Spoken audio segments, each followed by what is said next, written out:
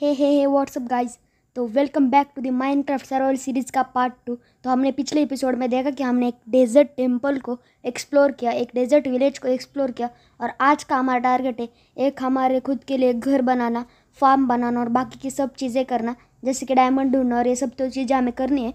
तो चलो, सबसे पहले एपिसोड को स्टार्ट करते हैं हमारे स्टाइल में।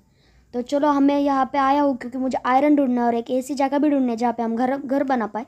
तो चलो आगे चलते पर मुझे लगता है रात हो रही है, क्योंकि बारिश की वजह से पता ही नहीं चलता हमको कि रात हो गई या दिन। तो चलो, बेड लगाते और देखते हैं। तो अभी तो नहीं बता रहा है, पर कभी भी रात हो सकती है, क्योंकि पता नहीं चलता हमको बारिश की वजह से रात है या दिन है। तो आगे जाके और एक्सप्लोर करें, क्योंकि हमें आयरन की ज़रूरत है, हमें एक आर्मर बनाना है।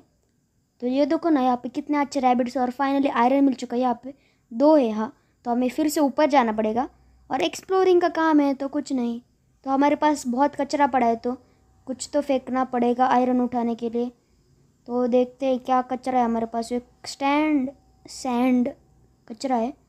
और इसको बाद में फेंकेंगे तो अभी रात हो रही है तो हम सबसे पहले सो जाएँगे और आगे के लिए बढ़ेंगे।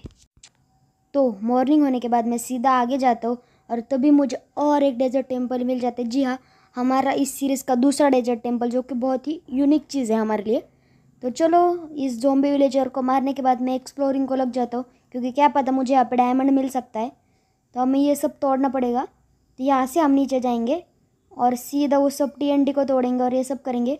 तो चलो जल्दी के जल्दी नीचे जाते हो टी और वो सब भी तोड़ेंगे और हमें लूट भी करनी है। तो चलो देखते हैं कहाँ पे है टीएनटी नीचे जाते नीचे जाते और टीएनटी हमें मिल ही जाएगा नीचे जाके। आगे खोदेंगे वो तो फाइनली हमें टीएनटी भी मिल चुका है। इन सब टीएनटी को कलेक्ट करेंगे क्योंकि ये फट ना जाए और हम मर ना जाए। क्योंकि हम अभी तक एक बार भी नहीं मरे हमारी सीरीज़ में। तो चलो, ये सब कलेक्ट कर लेते हैं। तो हमारे पास बहुत सारा कचरा पड़ा है तो हम ये उठा नहीं सकते।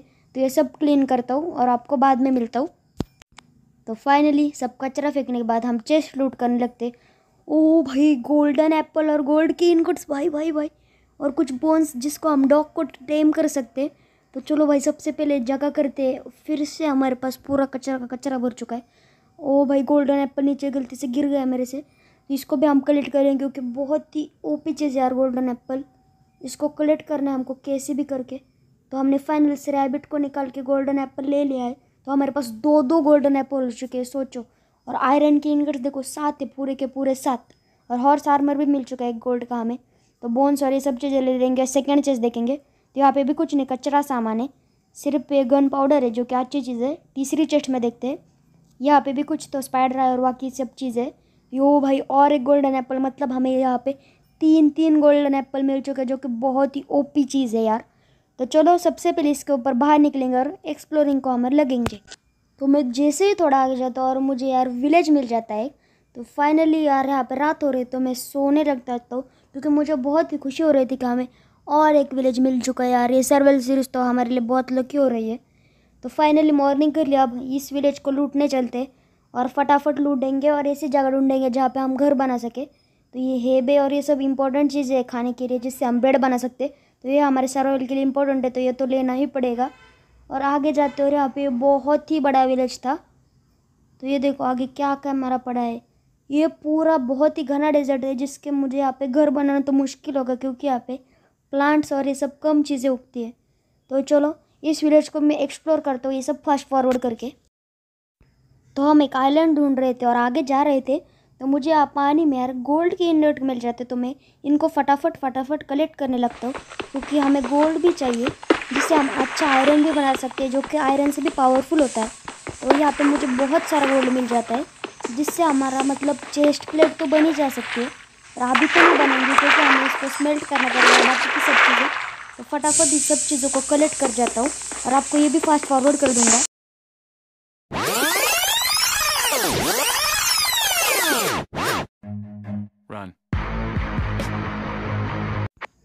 तो वहाँ पे बहुत सारा मतलब बहुत सारा गोल्ड कलेक्ट करने के बाद हम आगे एक्सप्लोरिंग की तरफ़ निकल जाते। तो मैं तो शौक था कि इतने आसानी से मुझे गोल्ड मिल रहा था कि जैसे कि कोई खाने की चीज़ मिल रही। तो हम आगे बढ़ते और फिर एक्सप्लोरिंग को लगते हमारी बोट के साथ। तो चलो आगे बढ़ते और देखते हमें और क्या क्या ओपी ओपी आइटम्स मिल जाते। तो फाइनली कई घंटे घूमने के बाद हमें फाइनली एक रूंड पोर्टल मिल जाता है। तो हम मुझे चेस्ट दिखाई नहीं दे रही तो मैं थोड़ा पैनिक हो जाता हूँ। पर आगे जाते ही मुझे एक चेस्ट मिलती है जिससे मैं खुश हो जाता हूँ। और आप देखो कि मैंने एक शेडर्स अप्लाई किया, आप देखा होगा। अगर आपको ये शेडर्स अच्छे लगे तो कमेंट बता कमेंट करना कि आपको अच्छे लगे। तो यहाँ पे क्या क्या लूट मिलती है? चलो देखते गोल्डन हेलमेट मिला है, जिसके ऊपर प्रोटेक्शन थ्री है। जी हाँ प्रोटेक्शन थ्री और थ्रॉन्स वन और प्रो फायर एफिशेंसी या कुछ तो है, मुझे नहीं पता। ऑप्सीडियन मिला हमको और कुछ गोल्ड इनगट्स मतलब फिफ्टी फिफ्टी लूट थी, ज़्यादा अच्छी भी नहीं और ज़्यादा ख़राब भी नहीं। तो इसको लूटने के बाद मैं सीधा आगे एक्सप्लोरिंग के लिए बढ़ जाता हूँ।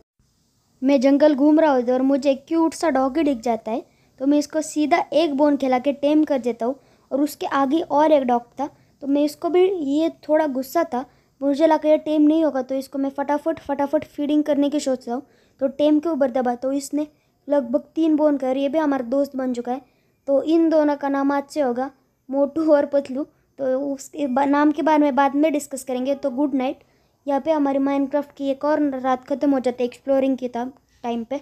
और हमारे डॉग्स हमारे साथ ही रहते हैं। तो इनके लिए हमें कुछ तो बनाना ही पड़ेगा। पर इनके लिए घर हम बाद में बनाएँगे। सबसे पहले हमारे लिए कुछ खाने के लिए बना दें क्योंकि हम कभी भी मर सकते हैं, क्योंकि हमारे हंगर लगी है।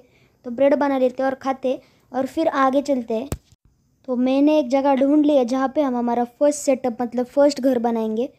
तो सबसे पहले हम गोल्ड को स्मेल्ट रखने हो, रख देते और रात हो रही है तो सबसे पहले सो जाएँगे। देखो ना क्लाउड्स कितने अच्छे लग रहे हैं। मतलब मैंने एक ऐसा अच्छा से शेडर डाउनलोड किया है, जिससे ये माइनक्राफ्ट रियलिस्टिक लग रही है हमको।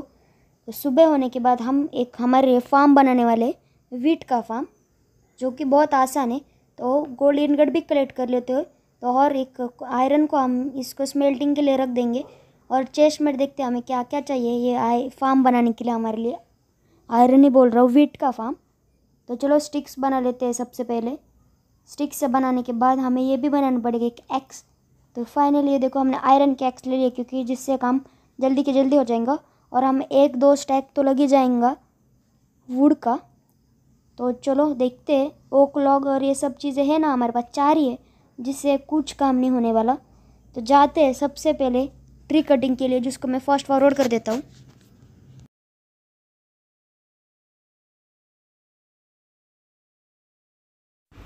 तो मैं वुड रखने के लिए एक चेस्ट बनाने की प्लान करता हूँ। तो फाइनली मैंने दो चेस्ट बना लिए, जिसको यहाँ पे मैं जॉइंट कर देता हूँ और यहाँ पे हमने जितना वुड लाए वो रख देते। सेवेंटीन वुड और एक स्टैक वुड लाए, जिसके अंदर हमें दो सैपलिंग में मिली है और हमारे आयरन की पिकेक्स की पिकेक्स बोल रहा हूँ एक्स की आधी हेल्थ जा चुकी है। तो चलो सबसे पहले हमारा काम चालू करते हैं फार्म बनाने का, जो कि हमारा नॉर्मल फार्म बनेगा। बाद में हम इसको ऑटोमेटिक भी बनाएँगे अगले कुछ एपिसोड में। और थर्ड एपिसोड के बारे में आपको एक बता देता हूँ कि हम थर्ड एपिसोड में डायमंड माइनिंग के लिए जाने वाले जिसको आपको एक ट्रिक भी बताऊँगी डायमंड कैसे माइन करेंगे? ज़्यादा की ज़्यादा।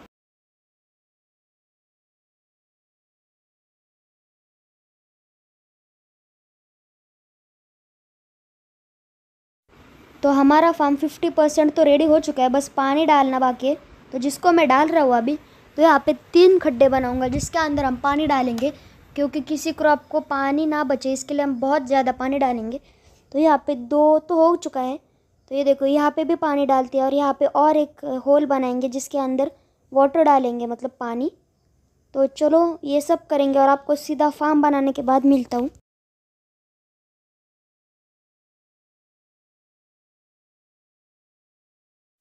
तो पूरे दिन की मेहनत के बाद फाइनली हमारा फार्म पूरी तरह से तैयार हो चुका है। बस फेंस गेट लगाना बाकी है, जिसको मैं आगे जाके लगा लूँगा। और हमारे देखो ना डॉग कितना अच्छा पहरा दे रहे हमारे सामान पे।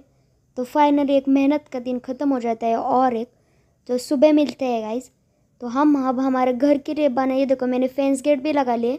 अब हम हमारे घर के लिए बनाने के लिए बहुत सारे मतलब बहुत सारे वुड कट करके लाया है मैंने। और जगह भी क्लीन कर लिए घर बनाने के लिए। तो मैंने सोचा कि हम एक ट्री हाउस बनाएँगे, जो कि होगा थ्री बाई थ्री का। तो यहाँ पे, ये देखो, यहाँ पे तीन लगाया। यहाँ पे तीन। ओ भाई, मेरे पास स्वॉर्ड भी नहीं, ये क्या से आ गया? ओ तो इसको हमें फेन से बोन से मारना पड़ेगा यार, हमारे पास स्वॉर्ड भी नहीं, हथियार भी नहीं है क्या पता कैसे मरेगा ये? मर जा मर जा, वरना ये मुझे मार देगा यार, मैंने कुत्तों को भी बिठा के रखा है, वरना वो आके इसको खा भी जाते। ओहो तो फाइनली मर गया। तो उसको मारने के बाद मैं हमारे घर के लिए लग जाता हूँ काम पे। तो इस घर को मैं पूरा बनाते दिखाऊँगा तो वीडियो बहुत लंबी हो जाएगी। तो आपको घर का प्रिपरेशन पूरा फास्ट फॉरवर्ड करके दिखाता हूँ। अगर आपको वीडियो अच्छी लगी रही है तो लाइक करना शेयर करना सब्सक्राइब करना और पार्ट थ्री भी बहुत इंटरेस्टिंग होने वाला हो और ये जल्दी ही डालने वाला हूँ मैं हमारे चैनल पे।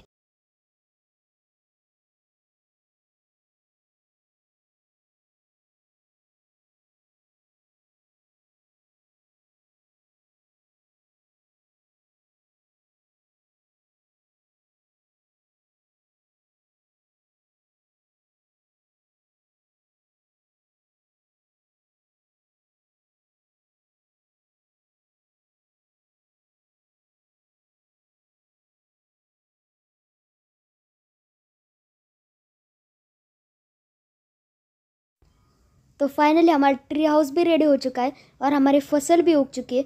तो जाएँगे और सबसे पहले इस पूरी फ़सल को काटेंगे। ये जो कि हमारा पहली फ़सल है, जिसके लिए मैं बहुत ही खुश हूँ और हमारा घर भी बन चुका है, जिसके लिए मैं बहुत मतलब बहुत ही खुश हूँ। तो इसको पूरा निकाल के फिर से बीज लगा देंगे और अगले एपिसोड में आप ये देख सकते हैं मेरे पास सिक्सटी फोर डायमंड्स है और ये मैंने पूरे सिर्फ़ चार घंटे में निकाले, चार घंटे में। ये सब मेरे डायमंड्स एक ऐसे निकाले आपको ये तो डाउट होगा ना, मैं इतने डायमंड कहाँ से लाए?